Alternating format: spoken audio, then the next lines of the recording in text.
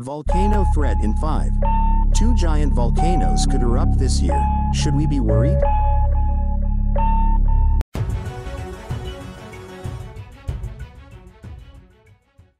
As we approach 2025, two volcanoes are raising eyebrows. Could Yellowstone, the supervolcano beneath the US, erupt soon? Or is Axial Seamount in the Pacific more likely to erupt this year? Here's what scientists have to say. Yellowstone, located in the US, last erupted 640,000 years ago. That eruption created a massive crater, measuring 70 by 45 kilometers wide. It also caused geysers to form and volcanic ash blanketed much of the US. Since then, Yellowstone has become a vibrant national park. Animals such as bears, wolves and elk now roam the 8,900 square kilometer park. But could another eruption be imminent?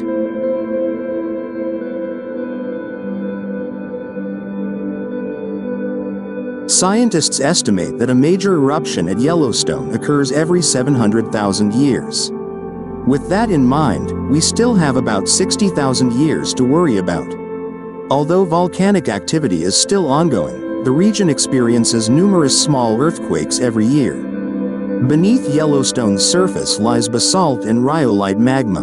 The U.S. Geological Survey recently reported that this magma reservoir is more widespread than previously thought.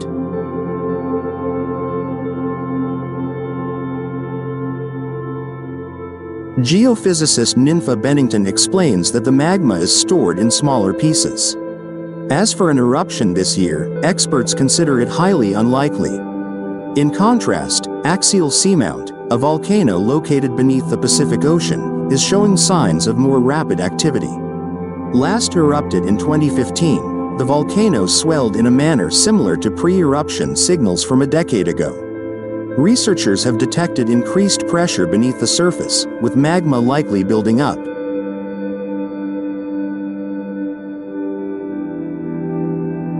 Experts at Oregon State University successfully predicted the 2015 eruption using undersea cables to measure seismic activity. This method is now being applied to forecast future eruptions. With new technologies such as artificial intelligence, scientists are improving their ability to predict volcanic behavior. But as volcanologist Valerio Acocella warns, nature is unpredictable. Even with sophisticated methods, volcanoes can sometimes surprise us with unexpected events.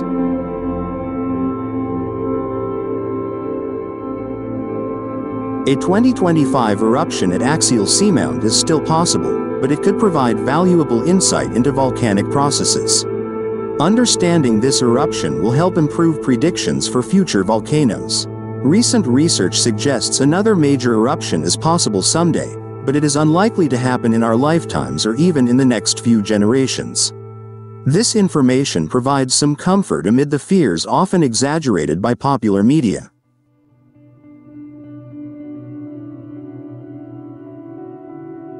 As we continue to learn more about this natural wonder through solid scientific work, it is important for everyone, scientists and non-scientists alike, to appreciate its beauty and potential impact on Earth.